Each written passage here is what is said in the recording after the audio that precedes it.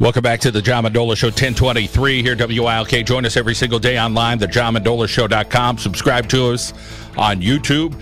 It is the John Mendola Show. Follow us on Twitter. We have a game this afternoon on our sister station. It is Wyoming area and Scranton Prep. That is a 1.30 start. I'll have the call this afternoon on Max 102. Well, let's get over to our Riverside Vikings football team. Head coach Harry Armstrong in studio, along a bunch of players uh, this morning. Coach, welcome into the show. Good morning, John. Thanks for having us. Yeah, congratulations. Couple weeks uh, of football. Uh, take us through camp uh, for Riverside. I know uh, we had talked uh, towards the end of summer. You're pretty pleased with where you're at, but uh, take us through what, what double sessions were like, your scrimmage, and then the first two weeks of the season. Well, uh, starting off with camp, I mean, it's it's been a grind for us, but we're having a lot of fun while we're doing it. Our guys are working their tail offs, but we, we definitely have a bunch of clowns on the team, and we're cracking each other up and having a lot of fun in the locker room and, and in between all the hard work. So it's it's been a great experience so far, and our guys are playing loose and, and really enjoying their time. And uh, as far as uh, results, uh, victories feel pretty darn good. Um, you guys scrimmage Valley View, right? Yes, we did. We scrimmaged Valley View, and that was a great test for us. I mean, without a doubt, they're a powerhouse program, and uh, you know, I thought we really did a good job holding our own, and, and, it was a great chance for us to evaluate to see what some of our strengths and weaknesses are.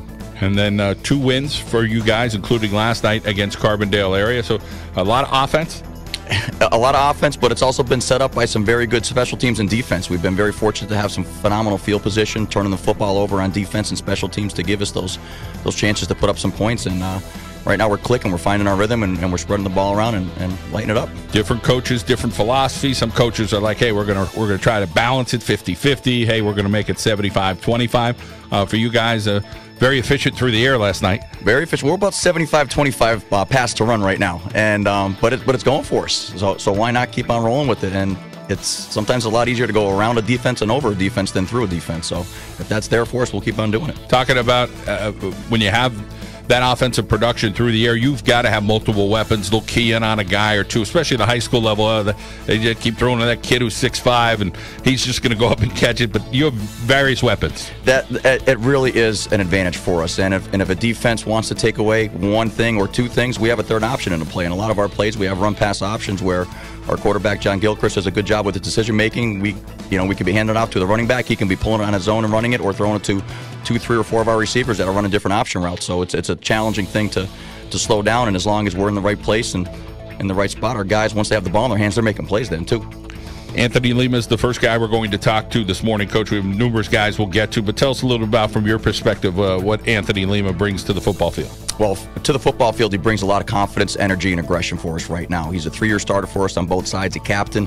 Uh, he's not just an, an, emotional leader from a verbal standpoint, but he really plays his tail off and works extremely hard. And you know, our guys are following his lead in that regards. And I thought last night was one of the best jobs I've seen a player do in a long time, especially in that regards. And you know, when you're clicking like that from a mental standpoint, it's going to show with how you produce physically, and, and, he's getting the job done for us. All right, very good. Let's welcome in Anthony Lima here on the John Mendola Show. Uh, Anthony, let's talk about that that leadership role for you. Is it something you feel like comes naturally for you? Um, I, yeah, I would say so. I mean, the team welcomed me with open arms, so it, it was kind of easy to step in and fill that position. I mean, they listen, they follow, but without them, we wouldn't be able to do anything. Few years under your belt as a starter has to feel pretty good. Uh, do you feel like you've gained in the confidence area every year? Okay, hey, I've done this before. I'm getting a little better. This is what coach told me I have to work on. Oh, absolutely. Year by year, you get better and better. It's all about the time and work you put in. I mean, you progress as you get older as well. So it's, it's kind of special to see how you start from sophomore year to now your senior year. Let's talk about position wise. Where are you playing on both offense and defensive sides? Um, right now I'm playing center, but I also play tackle. I play D tackle, DN, whatever they need me, I play it. How is this offensive line gelling right now? Take us through the guys up front. Who's uh, who's around you there on the offensive line for the Vikings? Um, our left guard is uh, Justin Tighe. Left tackle is Timmy. Our right guard is Angel, and our right tackle is C- uh, CJ as far as what you like about your line. Right now, you feel like, you know, good feet, um, driving guys off the ball, good pass blocking. What are some things that you're seeing so far early in the season? Well, in the beginning, uh, during doubles, we we struggled at first, but then we progressed so much during doubles into our scrimmage, and now it's week two, and I think I feel like things are really clicking for us. I mean, we're giving Johnny time to throw. We're creating lanes for the ball to be run, so it's kind of special to see it. Coach Armstrong, he could be a fun guy. You could have a lot of fun. He's a young, enthusiastic guy, but uh, he's going to make you punch the clock, and, and you're going to work as hard as you've ever worked. Talk about uh, finding a little bit more about yourself with your work ethic over the years. Oh, absolutely. Uh, Coach Armstrong does a great job to rally all of us to really push us to the limits. I mean, there's always more left in the gas tank, but we're really trying to get it all out there all the time, give it 100 all the time. All right, Anthony. Well, continued success out there on the field, okay? Thank you. Anthony Lima from Riverside here on the John Mendola Show. As we talk about the Vikings football program, we're going to move along. Uh, Coach Armstrong, Ryan Simeon is with us. Uh, tell us a little bit about Ryan's talents. Well, Ryan's uh, he's he's our kicker first and foremost, but he's very multi-talented. Uh, he's a lot more than that for us in, in our special teams. Uh, he does a great job manipulating the football. He's he's a wizard with our onside kicks. He can really put the ball where we need it to be. Uh, we recovered a couple against Susquehanna last year. I think we recovered six or seven on the season, and we're going to continue to put pressure on teams in that regards. And with punting the football, he can he can place the ball where we need it to go. He's got a big leg too. He can kick it deep when we want to try to pin him back. And he's also playing some in the secondary for us right now. He blocked a punt on punt block, so he's doing a lot more than just using his foot. He's definitely playing some football for us, and even through practice, uh, he, he, does a lot of different things for us and, and to give us a good look. And uh, he's also one of our newest captains on the team too, and he's definitely earned that. All right, let's welcome in Ryan Simeon here on the John Mendola Show. Ryan, a, a specialist is your title. Um, not many guys could, you know, do an onside kick, go block a punt, uh, play in the secondary. There's a lot of talents that you have. Talk about uh, just trying to get new things going there at Riverside.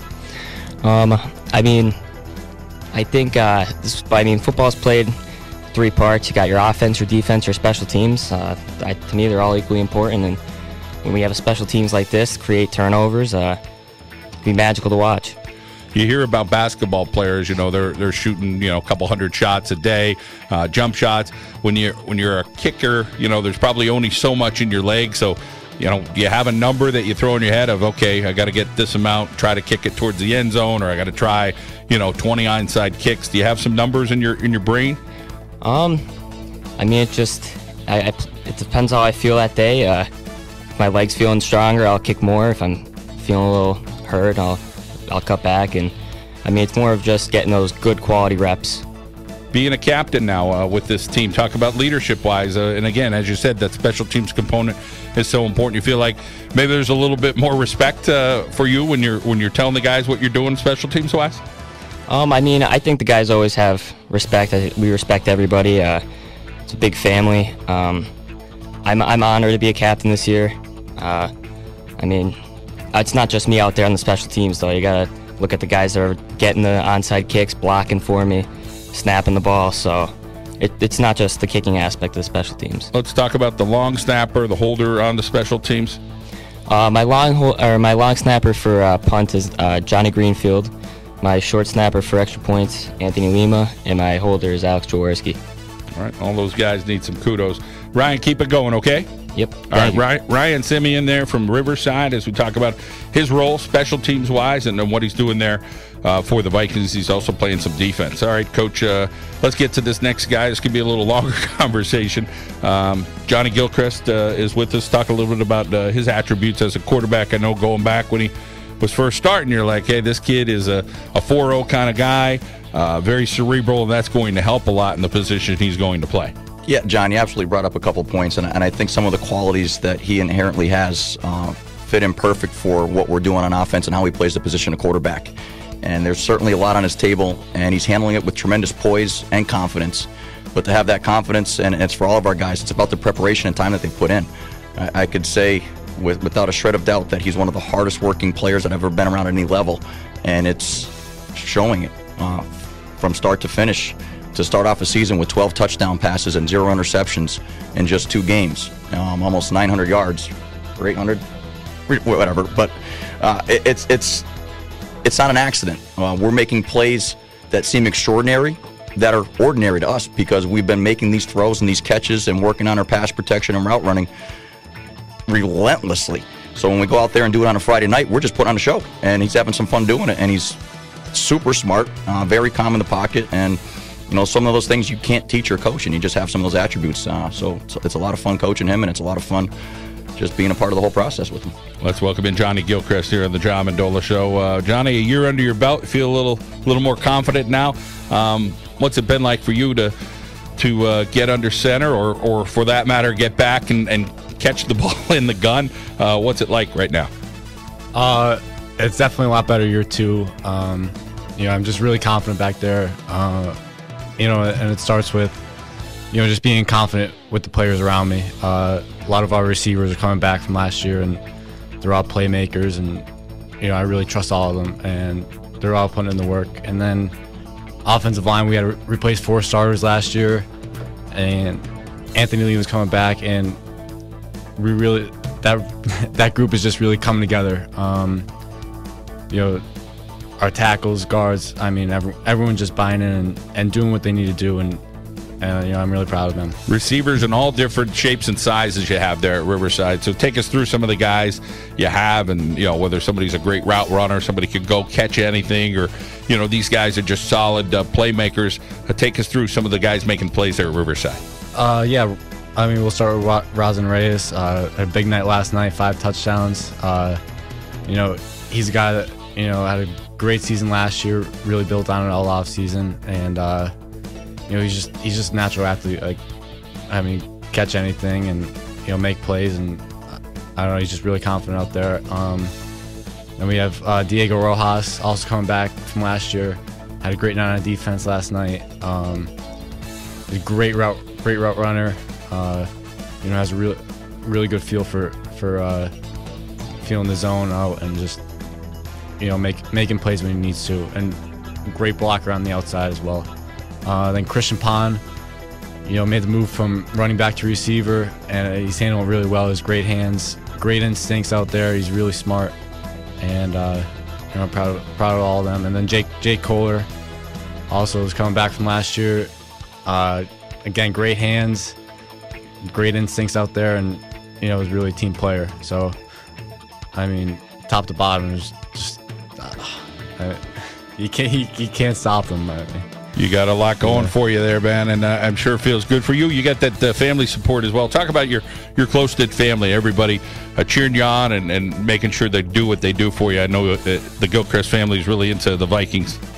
Yep, they they're bikes definitely uh, big big huge fans, and I couldn't be more grateful to have them. Uh, they're at every game supporting all week. You know, just I don't know, just doing whatever they can. I mean, like they they have so much support for the program and for me, and I couldn't be more grateful to have them.